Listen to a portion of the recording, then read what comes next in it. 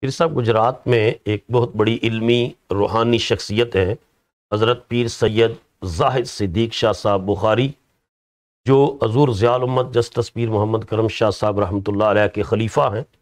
لیکن کام کے اعتبار سے، شخصیت کے اعتبار سے حناف شیخ کے درجے پر ہیں۔ انہوں نے بیرا شریف کی برانچ بنا کر آگے اس کی پچپن سے ساٹھ برانچز گجرات اس کے گرد و نواح میں قائم فرما دی۔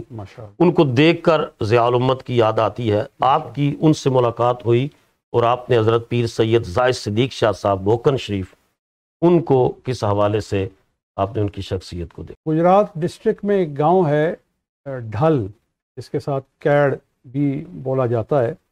تو وہاں کے جو چودھری صاحبان ہیں یہ قادری محمودی سلسلے میں ہم سے منسلک ہیں۔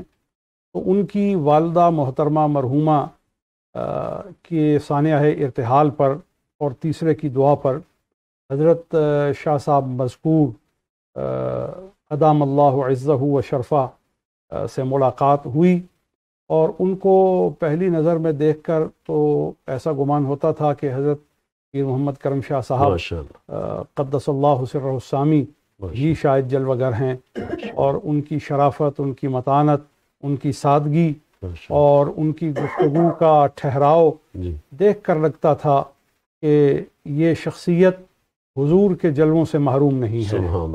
تو یقیناً نصباً بھی اور علماً بھی اور اپنے منصب کے اعتبار سے بھی یہ تمام کمالات جو ان کی شخصیت میں ایک آئینہ دار کے طور پر ان کی شخصیت کی عظمت کو اجاگر کرتے ہیں میں سمجھتا ہوں کہ یہ حضرت پیر صاحب کے ہی لمعان کی ایک خوبصورت عکس بندی ہے اور یقیناً شاگرد اتنے اچھے ہیں۔